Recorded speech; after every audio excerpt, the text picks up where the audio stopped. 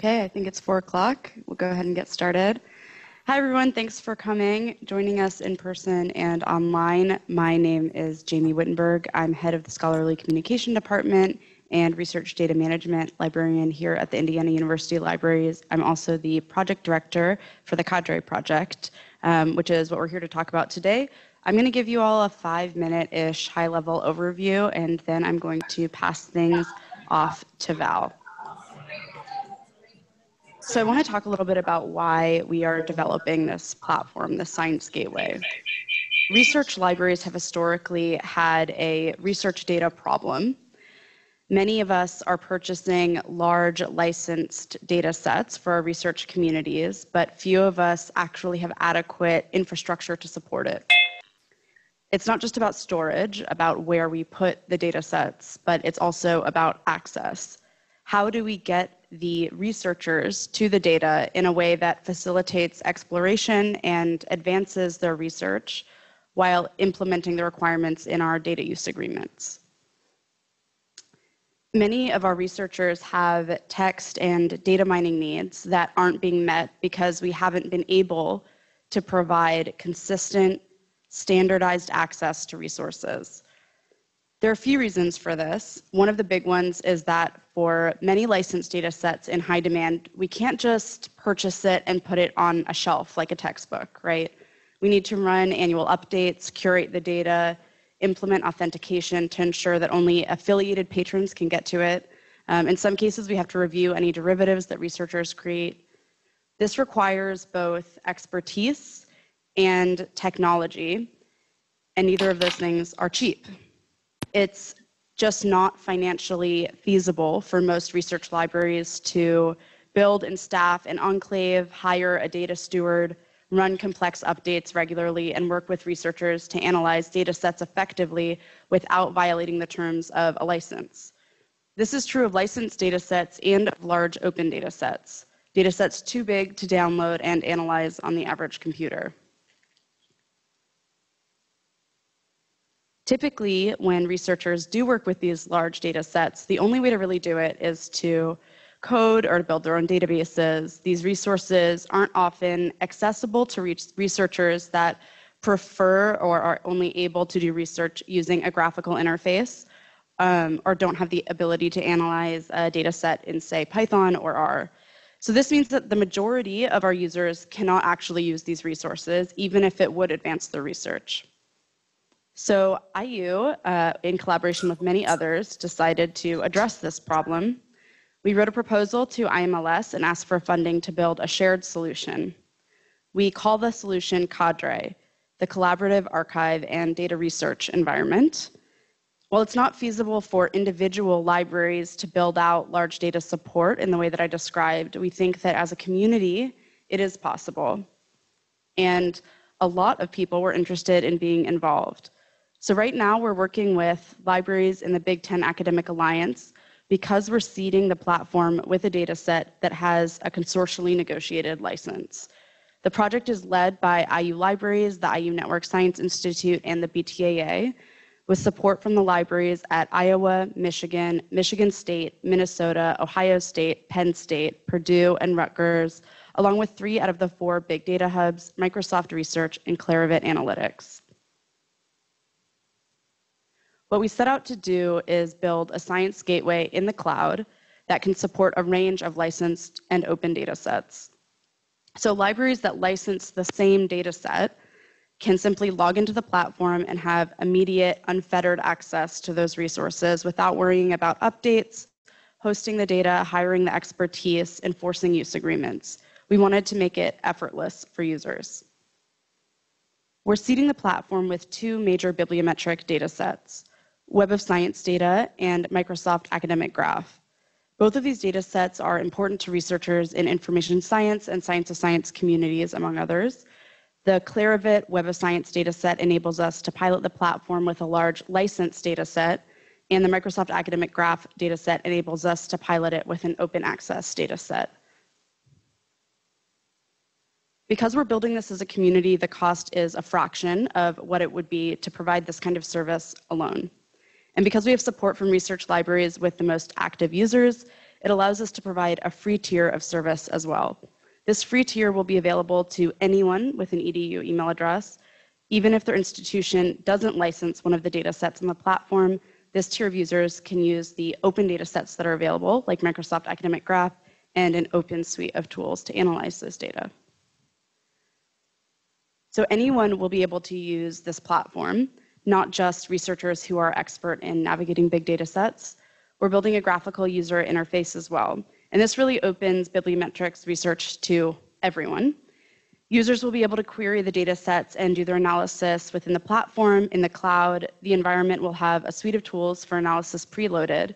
And when they're done, users will be able to save their queries and push their derivatives to a repository for collaboration or dissemination.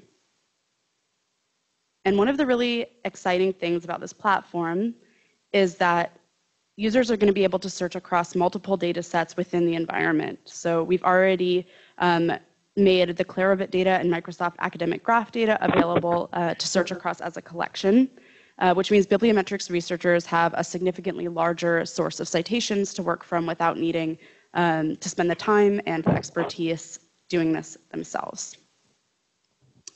This is a two-year uh, IMLS-funded project, and we're working on a sustainability model for the future. We'll have a tiered membership model for research libraries and other organizations with higher tiers providing additional features, uh, maybe integration with local computing resources, more cloud computing time for researchers. Um, we're collecting as many use cases as we can to figure out what that sustainability model will look like. So if you are a researcher you know is interested, please reach out to us. Um, and with that said, uh, as uh, you work your way through this demonstration and listen to um, more information on the technical infrastructure of the project, please let us know if you have any questions about how you can get involved um, or how you can participate in contributing a use case to the project. I'm going to pass things off to Valmat next, who's going to get us started on the technical infrastructure.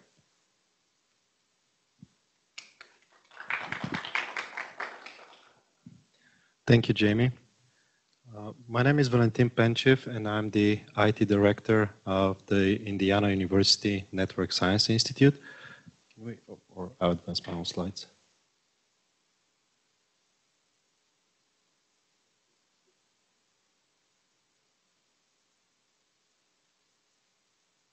Once we get to the right slides.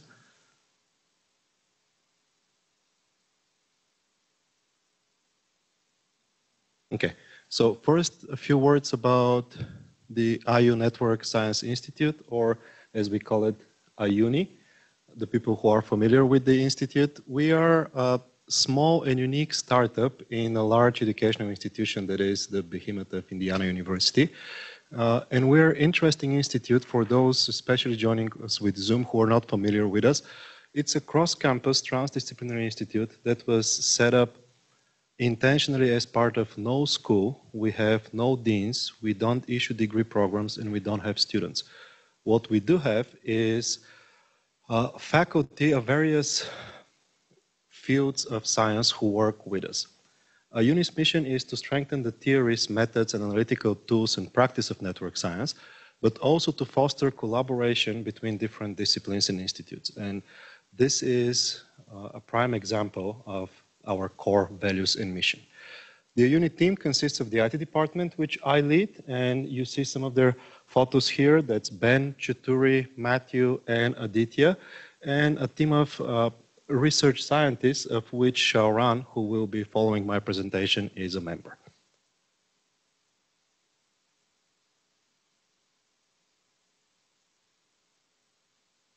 Again?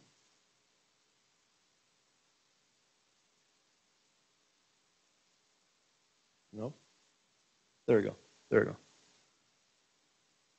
It, it's working now. Uh, so in this project, we identified three different constituencies. Our primary constituencies are the academic research libraries, the R1 institutions of the world, the people who are really invested in sociometric and bibliometric research. Uh, we also want to open the project to public libraries, to teaching colleges, to the small uh, to the small educational institutions who need visualization, network, and who care about the science of science. And thirdly, Uh, we want to open this to the general public. As Jamie mentioned, everyone who has an uh, EDU address will be able to use the Cadre system. To do that, we collect user stories. We have workshops like this one. We convene product ownership councils like the one happening in Chicago in a few days. And we were able to identify different aspects of research with the data. On one side, we have the computer scientists who care about APIs, notebooks, Spark clusters, access to raw data, people who have their own labs of PhD students or developers and programmers. We're also opening to the science of science community by integrating all of this data into databases and using native cloud technologies I'll mention in the next slide in a minute. And for everyone else, the IT team is building a web query interface which will allow you to uh, submit queries against multiple huge data sets just with a few mouse clicks. So what do these people need? Again, raw access to the, to the database, to the XML files, to the JSONs, to the CSVs, use of Spark clusters, use of uh, cloud-specific uh, dynamic schema technologies like USQL, like Glue, and Athena. If you know these terms, you do know what I'm talking about, this will be available for everyone with access to the platform. We'll also process the data into data sets and into databases, relational databases, graph databases. We experiment with multiple different technologies to make sure that the best query will be answered by uh, the, the appropriate compute resource. People who know SQL, people who know Cypher, people who know Gremlin are welcome to use the database interface. And again, for everyone else, we're building a guided query builder, which will first be able to answer the most complex network and science questions without having to touch the computers behind it. And will most importantly, try to suggest the best technology. If you're not sure, will this query be answered better with uh, a relational database or a graph database or a distributed uh, compute resource on the back end. The, the, the, guided query builder will be able to suggest that and spin the right technology uh, on the back end. Being cloud will allow us to also scale to the point to accommodate everyone that needs access to the platform. Another aspect, which you probably would not see here today, but we, is a work in progress, is the project asset commons, the research asset commons something that will allow federated login, so individual institutions will be able to use single sign-on to, uh, to, to, join. We'll promote collaboration by letting people share their query, save their data, share the derivative results with their own teams, their institutions, or as long as the vendor licenses provide, uh, allow us with the general public. And finally, reproducibility, replicability, provenance, and transparency Sharon will talk a little bit more about this, but everything will be set up with a DOI. Everything will have its own publication package that will be able to trace back to the project and results replicated. There is a small, a very quick overview of the project backend. Sharon will talk way more about this, but here are all the different kinds of storage that we plan on supporting all the different tools which we plan on building, and by the way, uh, allow third party to build through our APIs. The research asset commons, the web query interface, and all the various computing tools, all guarded by the authentication and the federated system. That's all I have to say. I will turn this to a more technical demo from uh, Matthew. Just wanted to have the, the project director team here on the board with us before we go forward.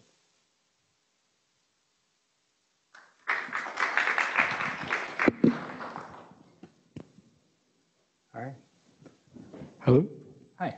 Um, hi, everyone. My name is Matt Hutchinson. I'm the data manager at IUNI, part of uh, the IT staff that Val was uh, talking about. Oh, sorry, let me get the slides up for you so you've got something to look at. Um, apologies to the people watching online. I don't think you'll be able to see me because I'm sitting over to the side here. Um, I only have a couple of slides, and then we'll get on to the uh, presentation. Um, so I'm going to show you um, really two parts. Um, what we have available right now, so what you can uh, get access to and start working on and uh, start using in your own research. And then we're going to walk through a kind of proof of concept demo of what we envision to be the, uh, the first stages of the Cadre project as we move to this uh, cloud-based platform. Uh, so first of all, I'm going to talk about what we have currently. So some of you may be familiar, if you're part of IU, with our current system. Uh, we host the Web of Science data on this server, which we have um, as part of the Karst cluster. Uh, so as of today, we're going to begin the migration process and start moving everyone onto the new server, which I'm going to demo for you now. And um, hopefully you'll start to see uh, the advantages of the new system and what we've changed and, and how, this, how we hope this new system will improve and offer better services than we had previously. So a quick overview, um, the URL at the top there, that's how you'll log in. Um, if you do request an account for our new server, I'll send you all this information again, so don't worry about memorizing it. But uh, if you remember the old system, uh, you'll see we have significantly more storage space now, I think 21 terabytes on the new server, and then a terabyte and a half of RAM compared to our old server, which I think was only about half a terabyte. So it should hopefully dramatically improve your query times and uh, performance of other applications on the system. And this server is running Red Hat 7 compared to the old one, which was Red Hat 6. Uh, so again, hopefully I see some improvements there.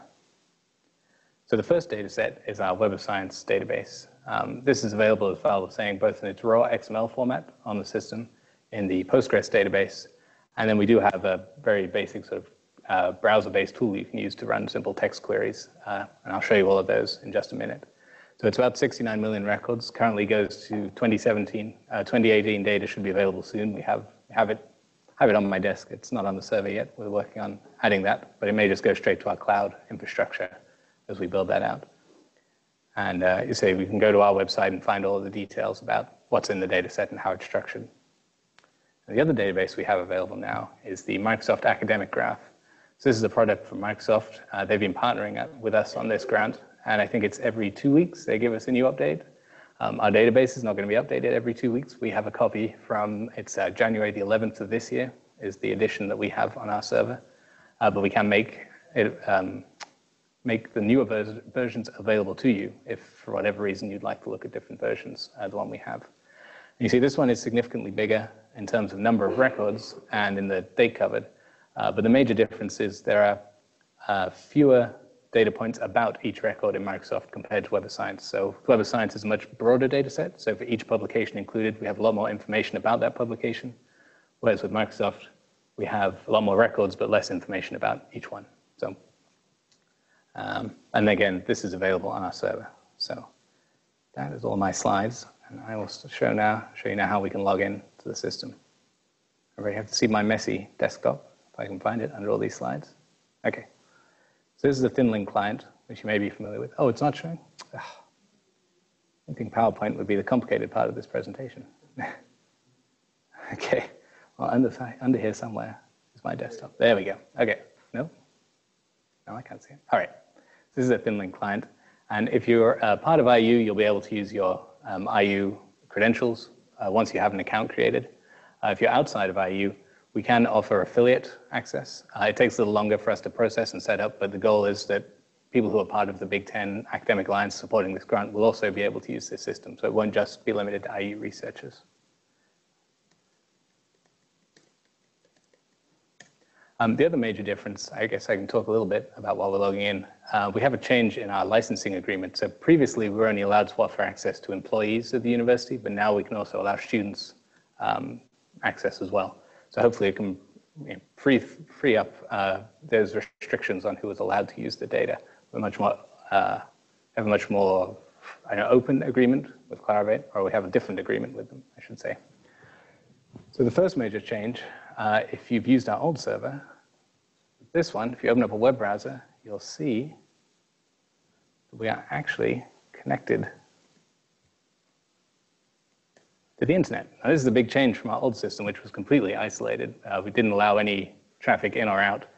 Um, the goal or the concern with the old system was that under our old licensing agreement, we weren't allowed, or we had to be very protective of what data was shared in case large amounts were leaked possibly online or there was some other security vulnerability. And so we had it cut off from the network. And the only person who could import and export data was me. So people had to email me and say, please export this file, and I would export it for them. And obviously this was a a roadblock and slow down a lot of people's work. Um, and obviously took up a lot of my time as well. So uh, fortunately now with our new agreement, which was negotiated as part of the Big Ten Academic Alliance, Uh, security requirements are different in this environment, and so we can allow uh, web access, which also means you can you know, SSH to the server and you can bring in files and export data yourself.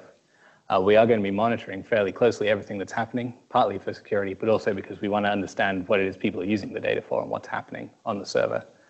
Uh, so um, there'll be you know, fairly, we'll be logging sort of all the queries that are running and all the traffic coming in and out, um, but not because we're spying on you, because we're doing it for a good reason. so to access the database, we have a couple of different ways to do it. I'm going to briefly show you the command line interface. I know not everyone uh, likes to work at the command line, so I won't spend a lot of time on it. But we do have pSQL installed. Uh, and so once you have your credentials, you'll be able to set up a password file and access the data. And what you'll see, so we have one database called core data, which is the only one, which is the one which is going to contain the uh, read-only version of the data, which we'll be providing. Uh, when we create an account for you, we'll also create a blank user database. So that'll be under your username and you'll have complete read, read and write access to your own database. The idea being that you can copy data from this core collection into your local one, and then you can manipulate and modify the data in your own database however you wish.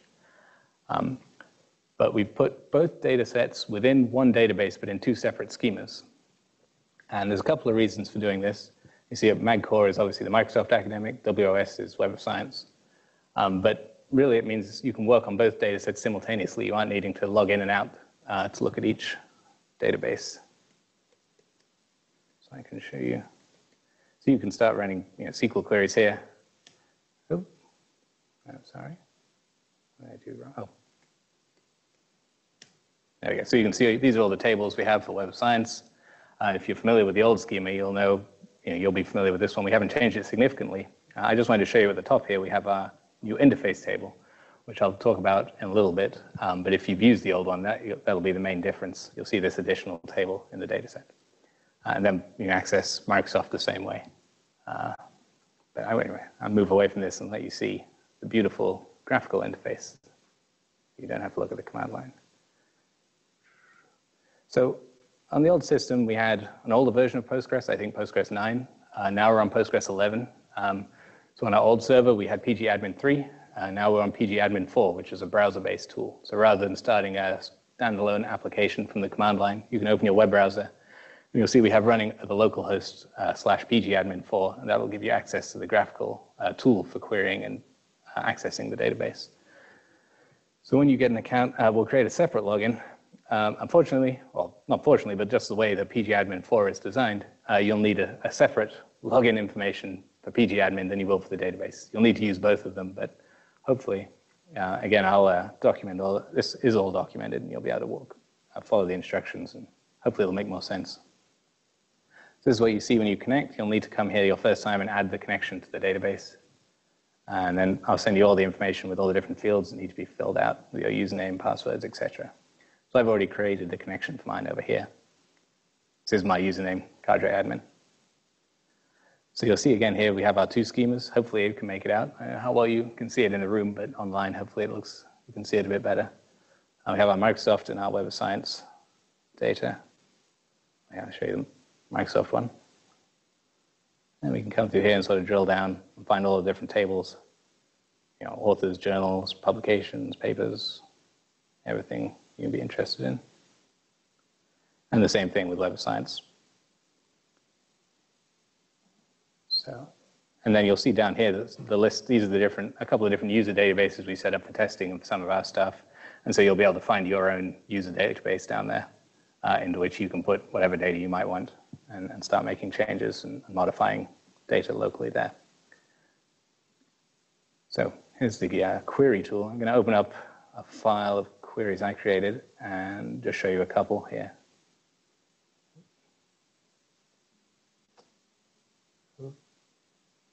Up there. There we go. All right, so I'm going to run a query here, um, searching for journals with the title uh, Scientometrics in the text. Now, notice the uh, syntax is a little different here, and this is why I want to talk about that, that, interface table, which I mentioned before. So the way we receive the data from Clarivate, uh, we receive, the, receive these big XML files, one for each year. Um, so we have you know, 100 different ones for the 100 years that it covers. Um, and within the XML file, each record in the XML file is one publication. Um, so you could think of it really um, that every XML could be collapsed into a table, right? So every field in the XML is associated with one publication. Um, but the way the database was originally conceived was to follow this XML schema, but to break it up into separate tables, um, which has the advantage of allowing you to follow, use the XML uh, documentation to sort of follow what data is in the database. But it does lead to these to queries which can have you know, a large number of joins and filters to get to the data that you want.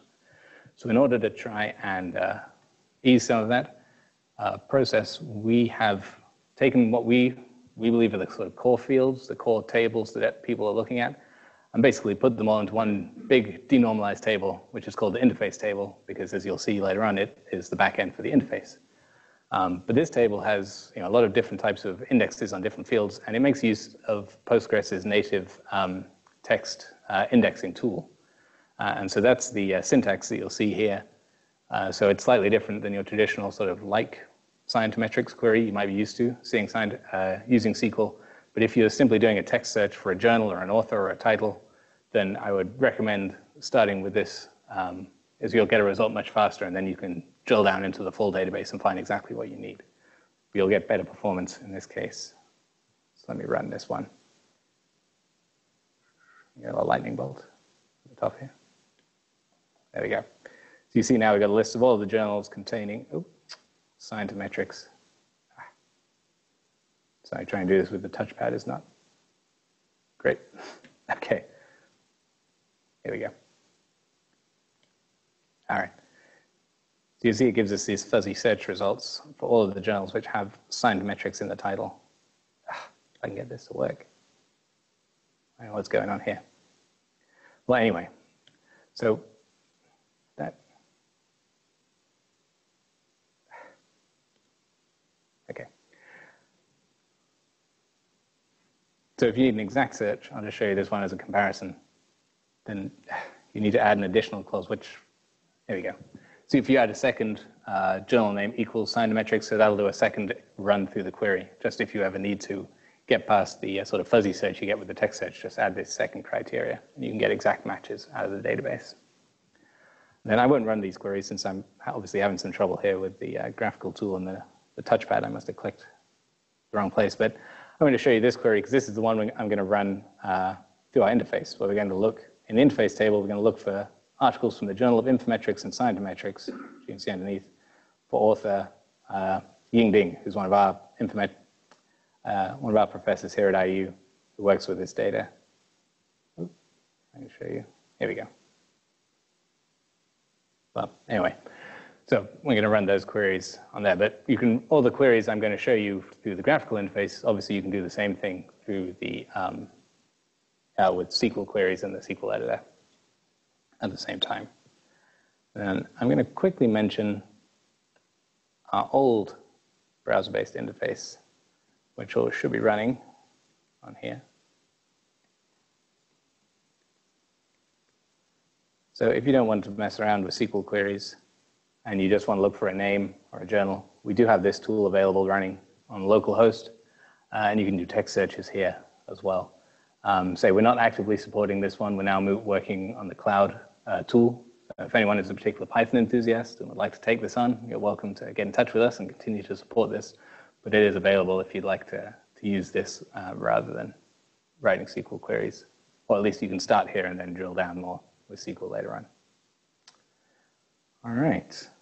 So that's everything I wanted to show you that's available right now. You can go to our website and fill out the paperwork and we'll set up accounts for you and you can get connected to the server and start working with the data.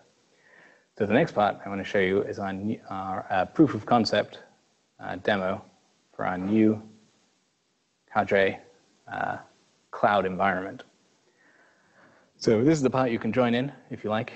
Um, your URL here is uh, login.cadre.iu.edu, and you're welcome to, to follow along. Uh, right now, we have two different methods for authentication. You can use your institutional authentication or Google authentication. I think we have more uh, on the way. Um, though I should mention, today we're just working with the Web of Science data. Uh, so you will need to use an institutional login from an institution which has access has a license with the web of, uh, to use Web of Science data. So that should be all of the Big Ten uh, universities. Um, you know, if you use your Google or you use a login uh, authentication from another institute, you'll be able to see the tools and the environment, but you won't be able to uh, actually access the data today. Uh, and that's part of this uh, you know, security and, and, license enforcement that we're trying to add to the project. So let me log in here. So then it takes you to the CILogon. You may have seen this on other university sites. Find your institution. I don't know if the default is Indiana or if that's just mine defaults that one, because I use that. Then log in here. So this takes me to my institutional login page. Just give me a moment while I do my two-factor authentication. Hopefully.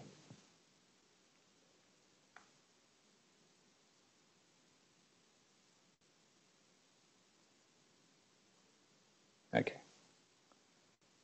I just wanted to uh, make it slow just to make me nervous there. All right. So you see, uh, this is part of our goal. Obviously, we're in the early stages. This is our proof of concept, but we're going to be, we want to build this graphical uh, interface to sort of uh, hide the complexity of having to write SQL queries and negotiate the database so you can get into the data you know, immediately without having to, uh, to work around with the database and, and connect to our server. So we have our two tools. Is our query interface. So this is the one replacing that old uh, version I showed you running on the local host. So this is a quick way to be able to access and search through uh, the Web of Science data set. So I'm going to run, if you, uh, if you do want to follow on with the demo all the way through, you'll need to run the same query that I do, but obviously you're welcome to do queries that you want, uh, but I'm, obviously then you'll have to do the next part by yourselves. So I'm going to look for the uh, Ding again press a ding, then add in a journal. Come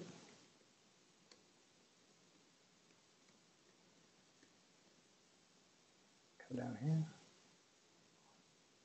Oh, good point. Yeah, Infometrics is Informetrics. Yeah. good catch. All right, so once you've set your query parameters, you can uh, preview the data uh, before you export anything. So if you look, show all available fields here, you can see all the fields uh, which are available for searching, or for uh, retrieving from a search at the moment. Uh, so these are the default ones selected, but we can add a couple others. Let's add title and DOI.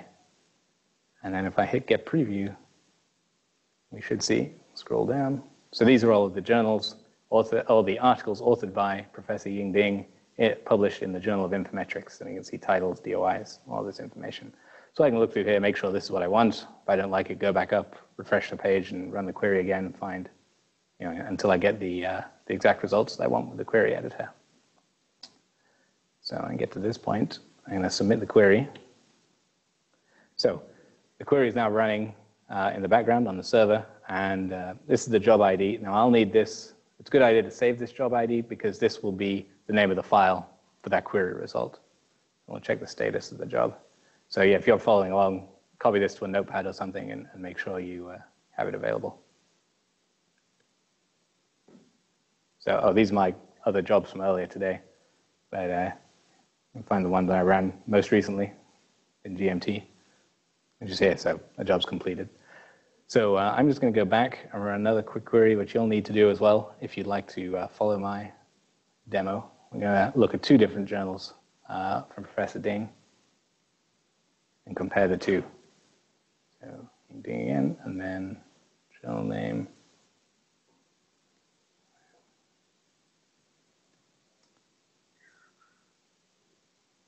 It's Scientometrics, if you can see it on the cloud. And I'm just going to go straight to submit the query because I've done this a couple of times, hopefully.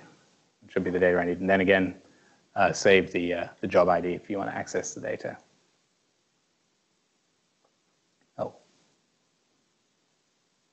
All right, I should have clicked through. I'll click here. Okay, so now the data is saved in my account, um, and I'm going to go and open a Jupyter notebook. And so I can see here, you see all these different IDs. These are different queries that I've run. So these are the CSV files I'm getting out of the uh, um, query interface. So I went through that a bit quickly, but you go back to the same login. You see, before we went to query interface, this time I'm just going to Jupyter notebook. The first time you click on Jupyter Notebook, you may get a message saying it's not running. So there should be a button underneath that says what's the text of the button? Start, start notebook or launch notebook? Start notebook. So just click that and it'll, it'll spin for a little while and then notebook will be available. So, so while you're waiting for that to start, you can follow what I'm doing and then uh, and talk to you a bit more about it. Uh, so yeah, you should just see the two files in yours. Uh, you see I've got a couple of other things here, but I'm going to go ahead and uh, create a new workbook. I'm going to create a Python one. So now you have uh, a Jupyter, uh, empty Jupyter notebook in our environment, but it's a notebook which can access the data which we just exploited using the query builder. So there is some sample code you can use. Obviously, if you want to write your own, you're welcome to. Uh, so github.com .com, not, dot, not the IU GitHub, if you've used it before, but .com is a public repository. iuni-cadre. Then it's our collaborative projects. And there should be a Python script in here, yeah, called OpenSci uh, demo with a typo, uh, .py. And we're going to use that Python script. So uh, you can you know, import and export files. Today we're just going to copy and paste just to make things simple. Um, but you should be able to just copy code from here, import your libraries. Oh, I'm going to change the name as well. If you need to rename your file, just right up here, I'm going to call this open sci. I could type. You see why there's a demo in the, uh, the Python, uh, a typo. so I'm bad at typing. Here, open sci line, and close that. All right, so I can start writing Python code in here I'm running it. Uh, once you have it copied into a block, uh, Control Enter or Shift Enter will run the block. You won't see any output from this one because it's just loading the libraries. But Mean, if you know Python or if you've used notebooks before, it should be fairly straightforward. Or it should be familiar, I should say. I'm going to copy this block. Um, if you're in here, you know, in editing mode, hit Escape, go to the command mode, and then B will give you a new block underneath. You don't have to use a new block, but notebooks will run all, you know, the entirety of the block in one go. So it's good to break it up so you can see that each piece is working. Uh, so if you've copied it directly um, from the GitHub page, you'll see the path here, query ID here. So those ID numbers which you saved from before, this is where you want to paste it in because this is the name of your CSV file. You can rename the CSV file if you don't have the, the string, but uh, be, that's what I've done. Here you see, so I ran these earlier. So Two of these are the ones that I ran just now as part of the demo, but I ran the same things earlier and renamed them just so you wouldn't have to watch me fumble around uh, copying and pasting them. So I can just type it in here if I can type. Oh. Right, and then, fingers crossed, there you go. So now I'm able to read that data I got from the query browser in my um, Python environment. I'll just do the same thing for the other data set. You can see it again. Copy this block and then read the other file for the Scientometrics papers. And then just change this query path.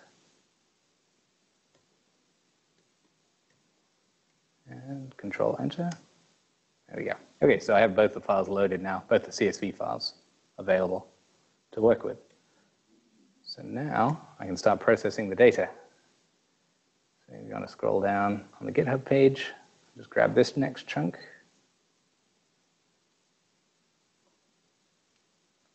Paste it in here. So this is going to uh, do some cleaning of the data, just making sure we're only looking at Scientometrics, because I think there's a couple uh, like ISSI papers which need to be filtered out. And then we're just going to select the columns that we need and merge the two data sets and do counts by year, which uh, probably makes more sense when you see the results. So now we can see for each year how many articles were published in each journal by this author by year. And then we're going to take this table and we're going to make a visualization. So again, new block. Then just copy this last chunk down here.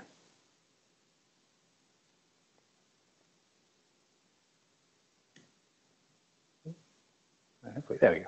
So you can see we have a visualization. So all, you know, pretty basic Python stuff, but the goal of this uh, demo is not to uh, amaze you with my Python programming, but rather to illustrate to you the, uh, the goals of the Cadre project, that we can have all of the data and you know, your programming tools. Right now, we you know, support uh, Jupyter Notebooks, obviously, and the goal is to add more in the future. Uh, Xiaoran's going to talk a bit about some more sophisticated, more advanced tools and complex tools we're going to add into the system.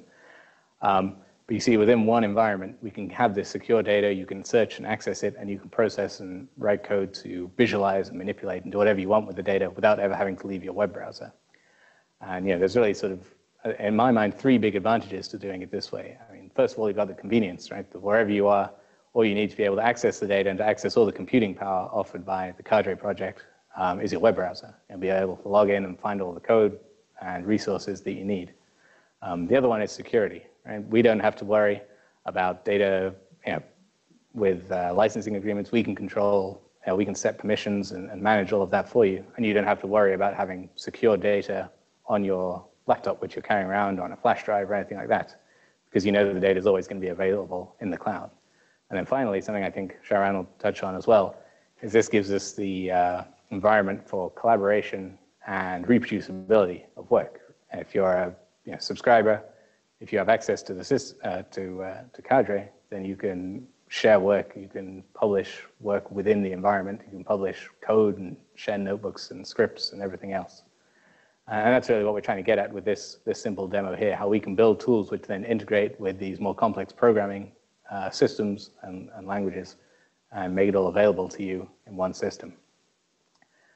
So that's about it for my demo. I'm going to pass it over to Xiaoran now, who has a big announcement which he's going to share with us, uh, which I'm going to tease a little bit. Let me bring up Xiaoran's slides. Thank you, Matthew. That's Val again. I just want to add that if the Python code scares you yeah. or it's not enough what, what you're doing, the queries are available right away in their native CSV format and can be used by the multiple tools that we're about to build on Cadre or can be downloaded and imported in your favorite tool or in your favorite system.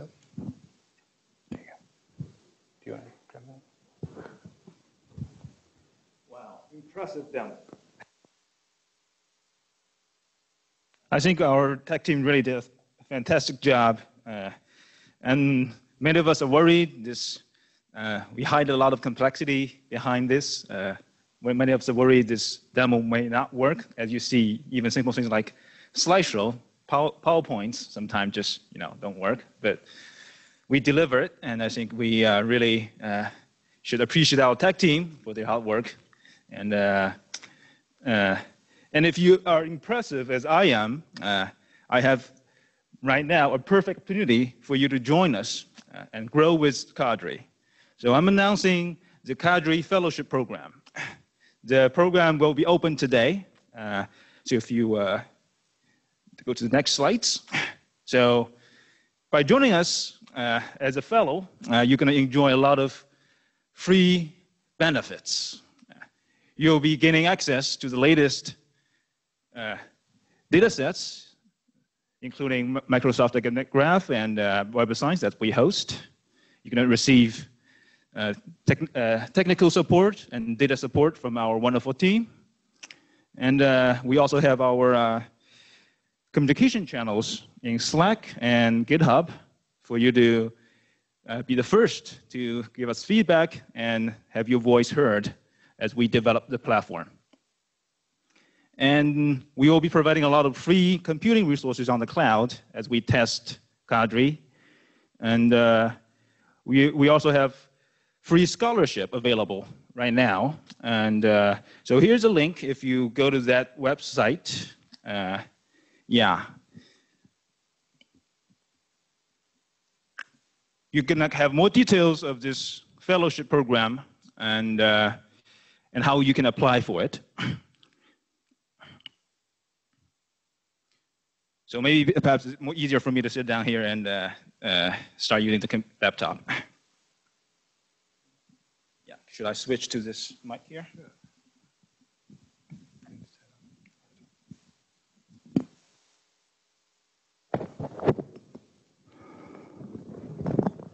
Hello, mic test. So, all right.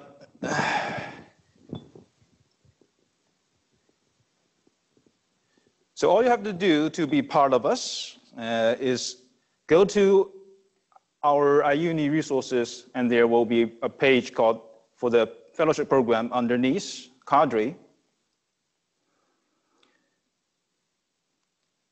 And to apply, you simply go to our application form online here, fill out a proposal uh, of a project. So if you're planning to do your next project on big bibliographic data sets, this is a perfect time to join with us. And uh, we will be selecting uh, for the first round six teams out of all the applicants uh, to work with us. The, the, selection criteria will be based your research value as well as uh, how it's going to benefit our development of the Cadre platform. So uh, please read the, specific instructions on our website and fill out the form. And uh,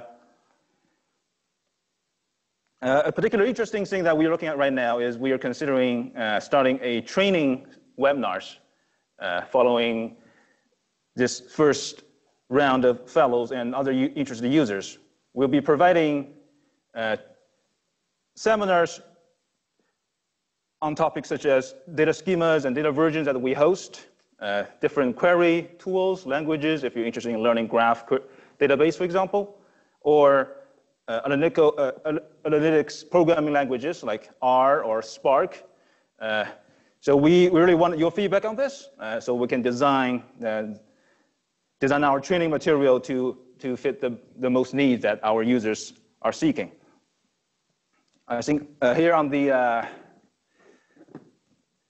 IU uh, conference room, we hand out a few uh, questionnaires uh, in your hand. So please take the opportunity to fill that out. If you're on the Zoom, on the internet, uh, you can join through this application form, or the, we, we also have this user story collection form that we have been open for a while now. So if you just have generic questions or requests for features, you can submit your feedback from there.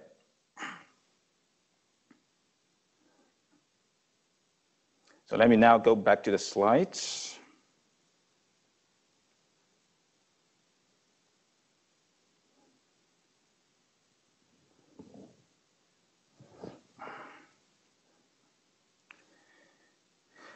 So we are starting this program uh, is because our cadre philosophy is really not just about ourselves.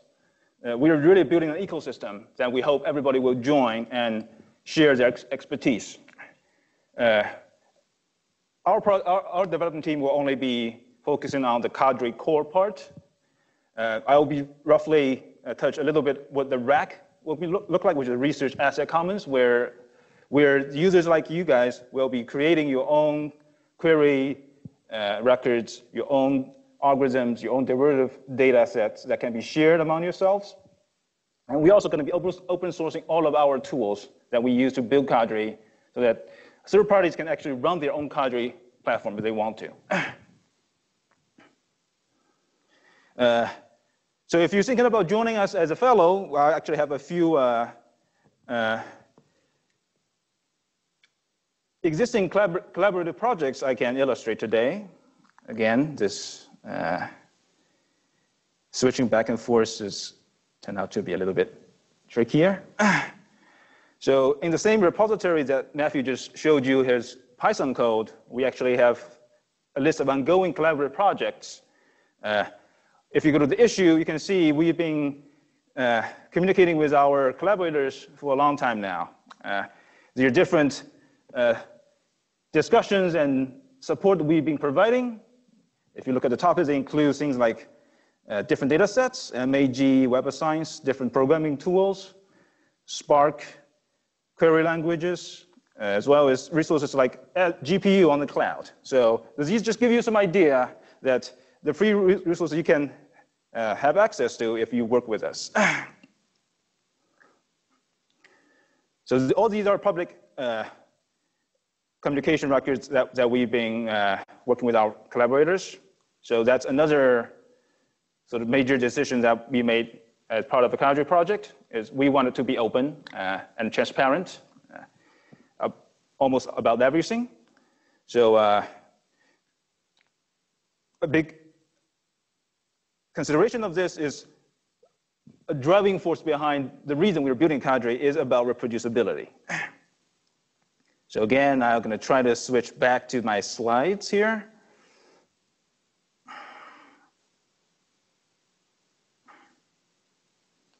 So before we go to the full reproducibility demo, uh, just give you some uh,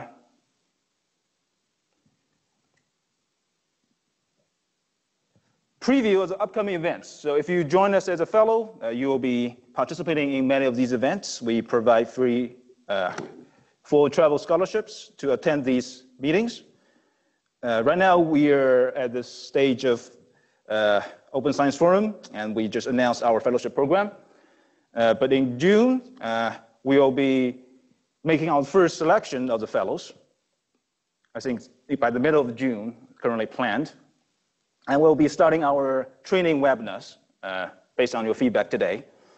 Uh, by September, uh, we will be hosting a tutorial and a workshop at ISSI, which, is, which stands for Inf International Scientometric and uh, Infometric Conference at Rome this year. Uh, so we'll be inviting six of our collaborators, fellows, to present their work at that event. Uh, we also be hosting a Cadre product owner meeting next year, and we're also planning for another big workshop at KDD potentially next year. So a lot of exciting things are coming up. So this is a perfect time for you to join us. so, uh, so that's the big announcement I, I would like to make. And uh, to finish everything off, uh, I'll, I'll demo I'll give you a little bit of uh, demonstration of concept of how the fully fledged notebook environment on Cadre will look like, uh, and what, how can that enable you to do reproducible science. So keep in mind, this is really uh, a proof of concept. None of these has, uh, is ready for prod production yet, and I don't think any of these, well, specific technologies will be employed for Cadre uh, in the final release. But just, just to show you how Cadre as a concept can really enhance your research, in particular for reproducible uh, science. So uh, to get everything going, uh, I've created a binder image, which I will explain a little bit uh, later. Uh, you can also go to our GitHub repository. Uh,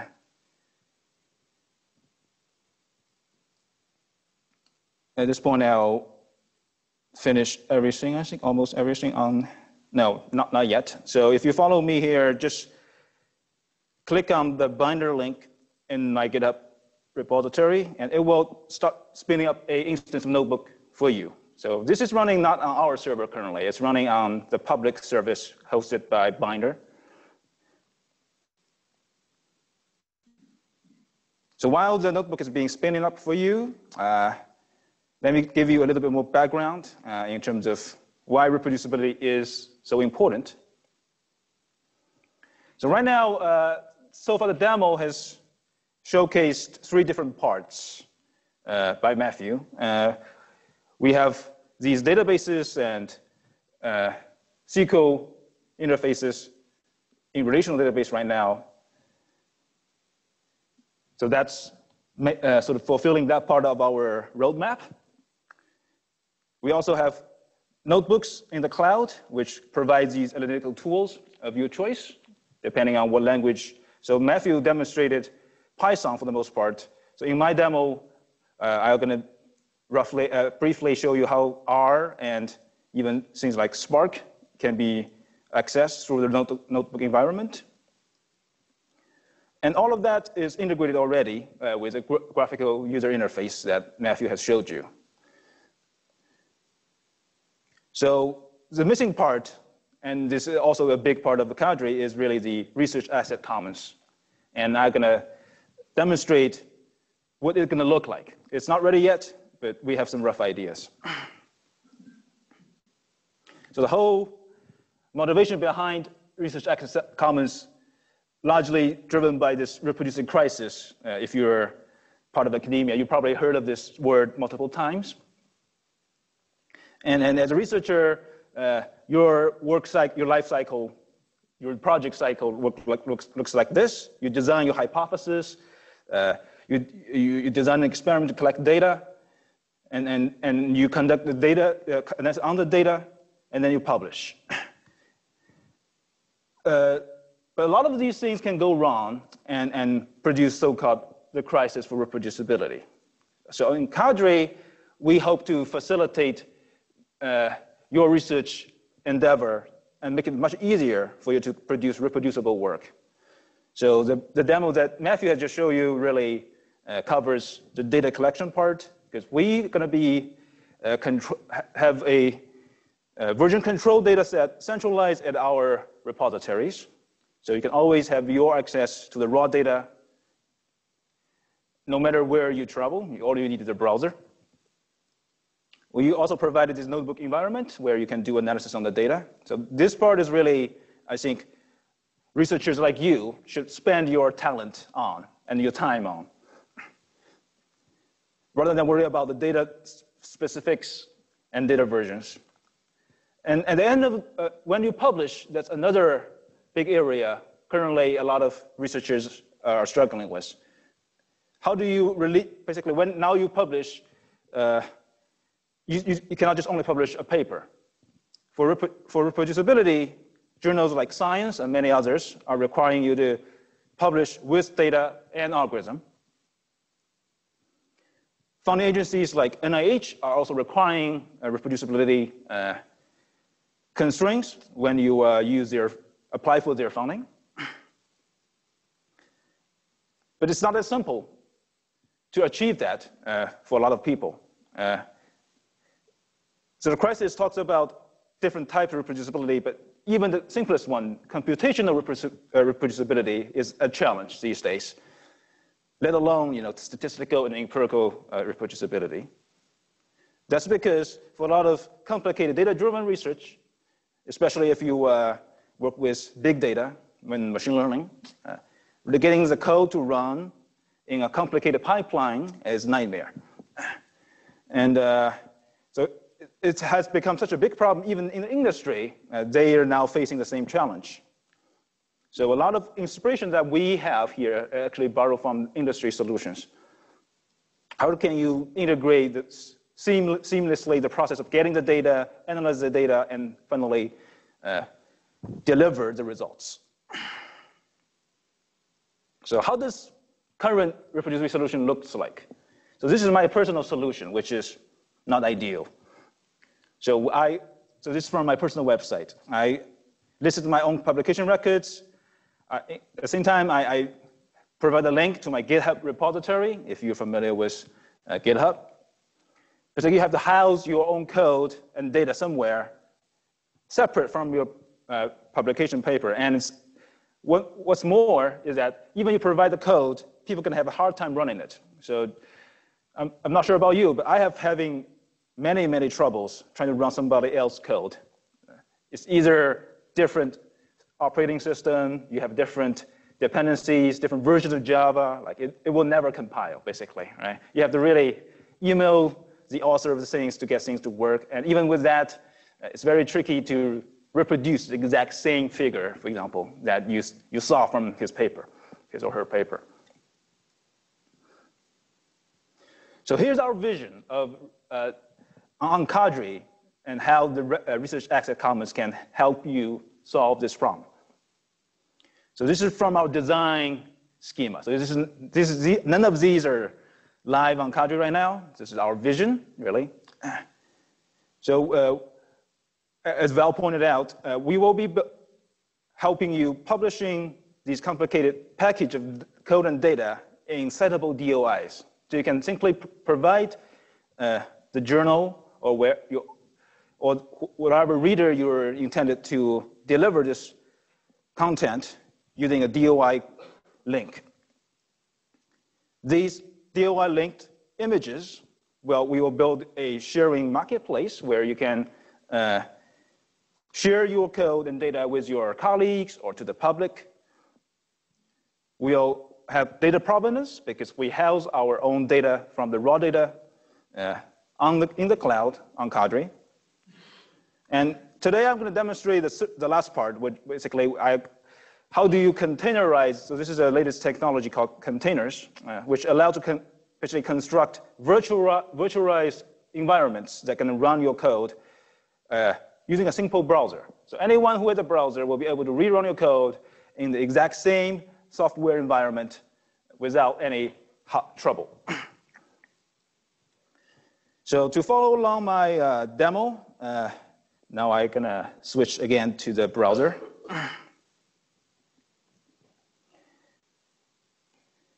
If you're in our uh, previous fellowship program, here's a link, I think. Yeah, to go to our uh, collaborative issues. And here you get, uh, if you go to the wiki page, so it's a little bit convoluted, but you can, uh, you can just use this URL here, where I have all the code and everything that you're gonna be seeing if you have clicked the Binder, Binder link uh, before my, my talk.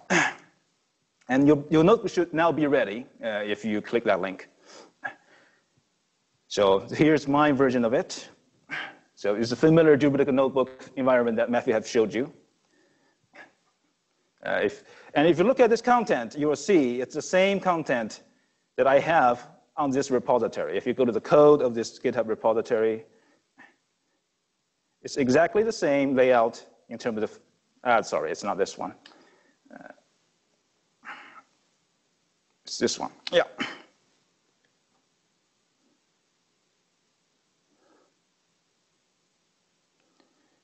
So you see, you're going to see the same file structure inside the notebook as you're going to see on GitHub repository. so I'm going to try to demonstrate a few of the features uh, rather than the detail of the code here. Uh, so first of all, uh, to reproduce everything, right now, uh, you need to run a command line tool. Uh, so to do that, you have to spin up a new terminal from the uh, notebook. And if you have the wiki page here, I have the detailed step-by-step instruction if you want to follow along.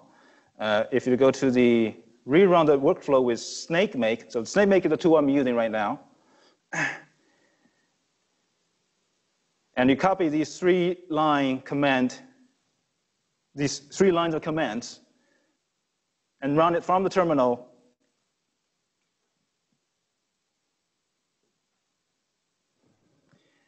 You can just see the code, it will be running off the bat. You don't have to change, install any packages. You don't have to uh, find the paths, file paths of the input files, because I have already pre-configured everything in this image, as you would when, uh, when you publish a paper. so while it's running, uh, those simple command is already executing uh, this workflow with multiple files chained into a pipeline. So these actually, for demonstration purposes, I have made them into Python code, R code, Java code, and a little bit of Spark code. so just to show you how everything can be done uh, inside of a fully featured notebook environment. So I'm not going to go into the details here. So I'll first introduce the, uh, the environment of notebook called Jupyter Lab. So if you replace this tree with lab of your own uh, Binder notebook environment, you will see a sort of next generation notebook environment that Jupyter has already built for you. So this is called Jupyter Lab, which is uh, probably look more similar to a fully featured development uh, IDE, the integrated development environment for you, because you have the folder structure over here. You can see all our input files, and uh, you can spin up new Python notebook or terminals as, as, you, as you wish. So if you scroll down, uh, let's see. So in our, okay, I, I, haven't run the last command yet. So if I run the last command, you're gonna see right now in the Jupyter Lab we just reproduce the pipeline I have on our uh, website. And it just be created seconds ago. So this is live. and in this environment, uh, I'll just only demonstrate one of the R notebooks here, uh, which is this one, data transformation. So it's one of the components in this complicated pipeline. The second, the red bo uh, box. I'm just going to run a couple of cells here. The first thing just to show you all the packages. You see, I'm using a lot of different packages from R. But all of them is already installed uh, because I provide you the image to begin with. So you don't have to download all these big packages and wait for them. You can now plot these data, uh, which already retrieved for you by running my pipeline in the command.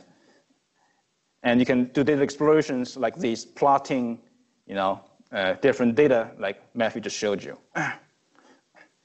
and better yet, in this environment, you can also look at individual output data directly, in this case, like this CSV file. So it's very convenient.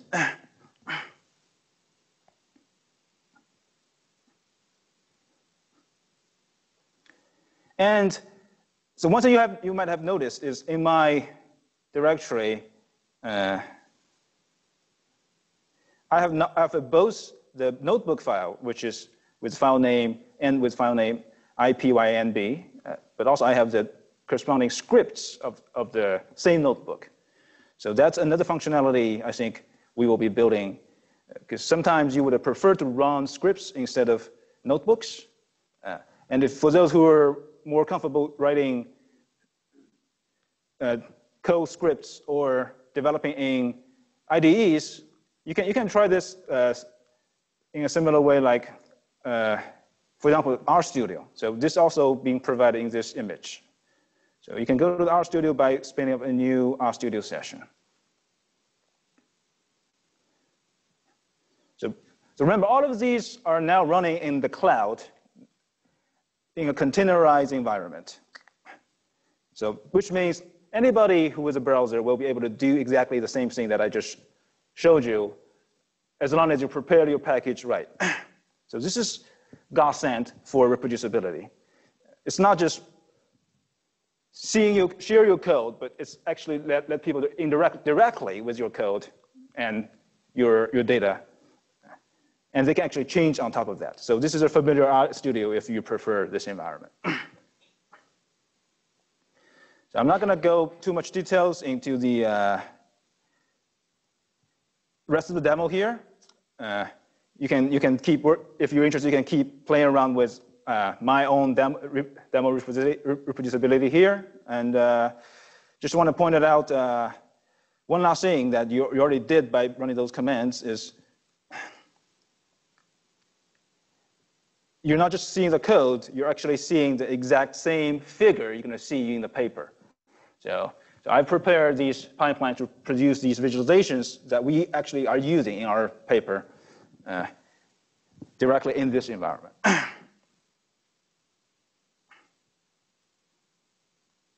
so I think that's all I want to show with this uh, demo. Uh, you can explore more by following my detailed instructions in this GitHub page. but I'm going to now switch back to our slides and wrapping up.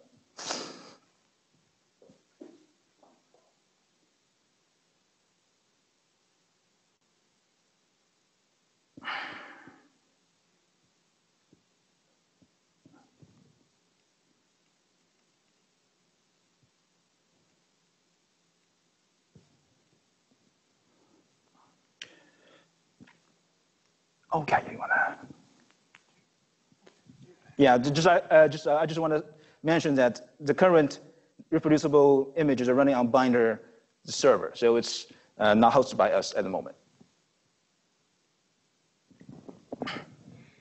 Thanks everyone for joining us today in person and online. We had um, quite a bit of participation. We're really pleased about that.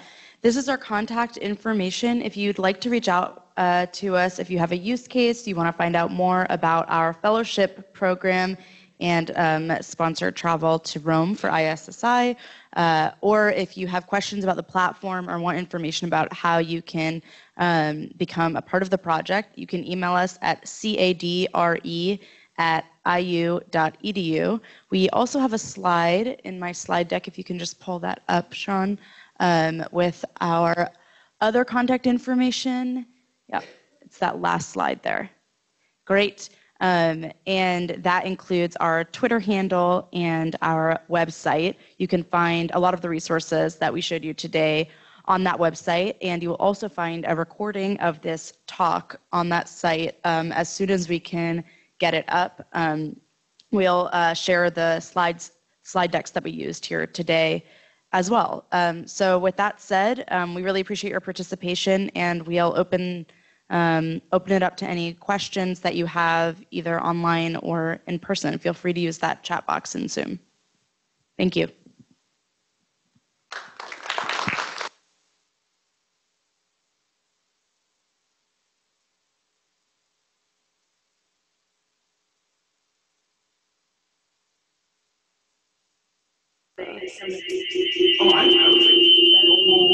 Start by just sharing one of, one of the questions we got from a couple of people um, on the chat for those of you who are here in person or who called in um, and so weren't able to see those um, questions in the chat box.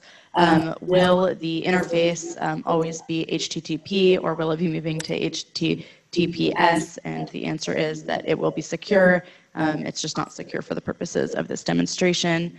A couple of folks at BTAA institutions were not able to access uh, the interface, um, so we will look into some of those uh, uh, authorization issues as well once we wrap up here. That's why we do these demos. So we really appreciate your feedback if you've Yeah. encountered any No, general unexpected data issues. user, okay.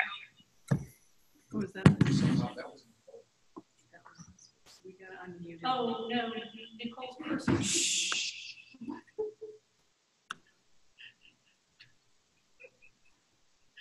Okay. Well, if there aren't any questions, feel free to email uh, email us at cadre at iu.edu if uh, one comes up, and I will let you go and enjoy your evenings. Thanks very much, everyone.